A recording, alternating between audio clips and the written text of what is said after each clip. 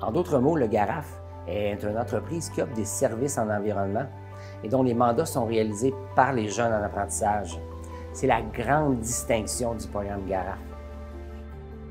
Le Fonds du Grand Mouvement des Jardins nous a permis de déployer cette offre de services que peut réaliser le GARAF avec les élèves. Nous sommes en mesure de développer un projet de culture végétale, donc à la verticale avec nos murs végétaux, de conception entièrement des jeunes et du GARAF. C'est le Fonds Grand Mouvement des Jardins qui nous a permis de développer ce projet-là et d'autres, dont celui du programme d'aquaculture et d'aquaponie, un lien entre les poissons, les truites et la culture verticale.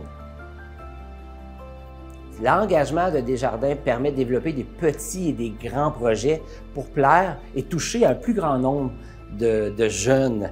Moi, je trouve ça vraiment fantastique. Ça prend une vision, ça prend une approche. Desjardins là.